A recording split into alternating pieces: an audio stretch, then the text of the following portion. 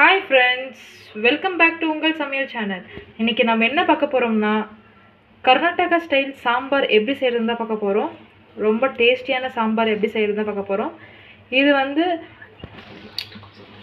Udupi special இது.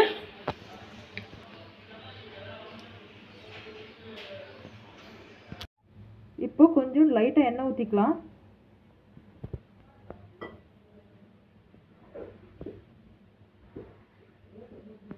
இது நம்ம வெங்காயம் சேர்த்துக்கலாம். வெங்காயத்தை வதக்கி அரிக்கணும்.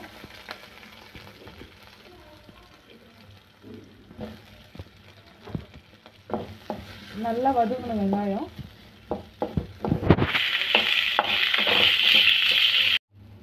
இப்போ வெங்காயம் நல்லா வதங்கிடுச்சு. இப்போ நம்ம இதை எடுத்துடலாம். பாருங்கள் நம்ம காஞ்ச மிளகா ஒரு ஏழுலேருந்து எட்டு காஞ்ச மிளகா. அது கூட நான் காஷ்மீரி சில்லியை கலந்து போட்டிருக்கேன். இதை நம்ம நல்லா ட்ரை ரோஸ்ட் பண்ணிக்கலாம்.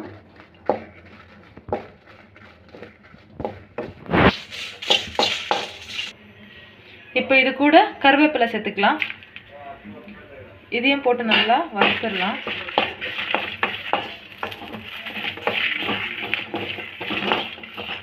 ரொம்ப மொறு மொறுன்னுலாம் ஆகணும்னு இல்லை. சும்மா லைட்டாக வறுத்துக்கோங்க. இப்போது நல்லா வறுத்து வறுத்துட்டோம். நம்ம இதை எடுத்துடலாம். இப்போது ரெண்டு ஸ்பூன் தனியா சேர்த்துக்கலாம். ஒரு ஸ்பூன் ஜீரகம். ஒரு பத்து மிளகு சேர்த்துக்கலாம்.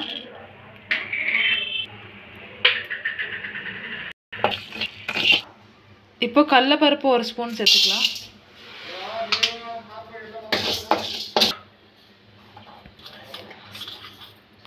அரிசி அரை ஸ்பூன் சேர்த்துக்கலாம். நம்ம அரிசி ஏன் சேர்த்துக்கிறோம்னா ஒரு திக்னஸ் கொடுக்கும் நம்ம சாம்பாருக்கு. ஸோ அதனால அரிசி. இப்போ இதை நல்லா வறுத்தாச்சு எடுத்துக்கலாம். இப்போ நம்ம ஃபஸ்ட்டு ஜாரில் தேங்காய் சேர்த்துக்கலாம்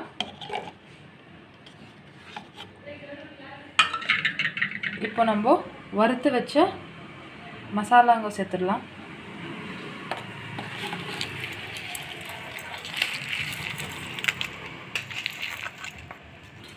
இப்போ இதில் கொஞ்சம் தண்ணி ஊற்றி நல்லா நைஸாக அரைச்சிக்கலாம்.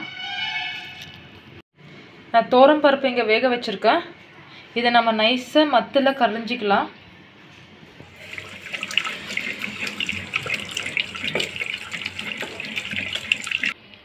இப்போ கடாய் ஹீட் ஆயிடுச்சு நம்ம ஆயில் சேர்த்துக்கலாம்.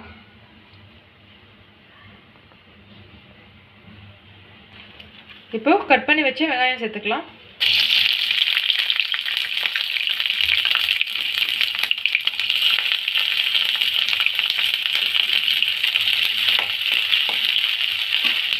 கருவேப்பிலை சேர்த்துக்கலாம்.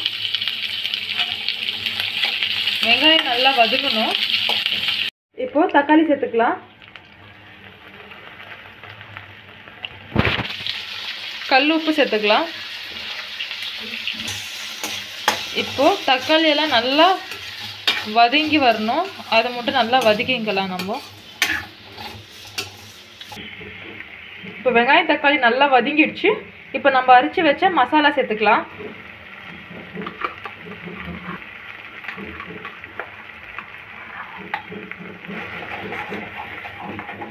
அந்த ஜாரில் நம்ம தண்ணி ஊற்றி அந்த தண்ணியை சேர்த்துக்கலாம். அந்த மசாலா இருக்கும்.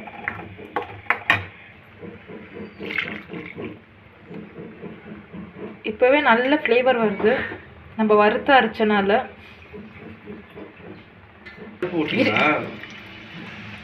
பாருங்கள் நல்லா மிக்ஸ் பண்ணிக்கலாம்.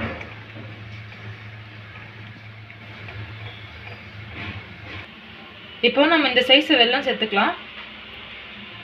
வெல்லம் சேர்க்கறத ஸ்கிப் பண்ணாதீங்க.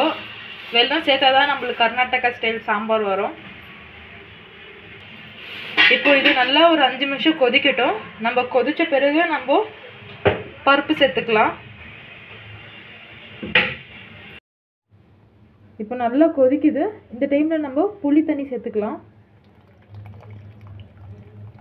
நான் ஒரு லெமன் சைஸ் புளி எடுத்து நல்லா திக்காக கரைச்சி ஊற்றுறேன்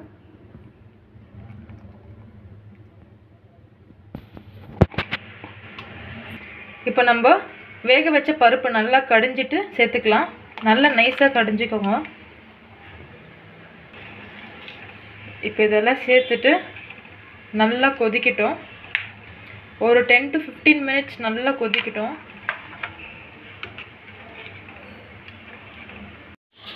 பாருங்கள் இந்த மாதிரி நல்லா கொதிக்கணும். நம்ம சாம்பார் எவ்வளோ கொதிக்குதோ அந்த அளவுக்கு டேஸ்ட் தரும் நம்மளுக்கு.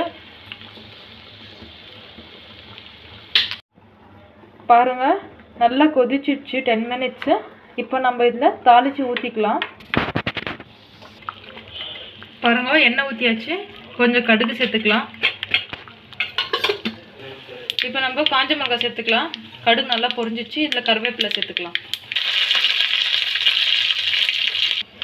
இப்போது இதில் சாம்பாரில் சேர்த்துக்கலாம். இப்போ சாம்பார் ரெடி ஆயிடுச்சு. நம்ம கேஸ் ஆஃப் பண்ணிக்கலாம் சாம்பாருக்கு.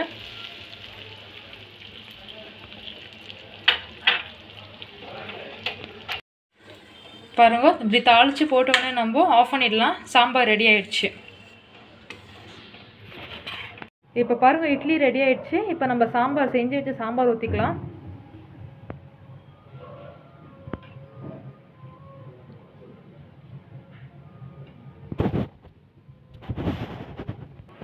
இப்போது நம்மளோட கர்நாடகா ஸ்டைல் சாம்பார் ரெடி ஆயிடுச்சு.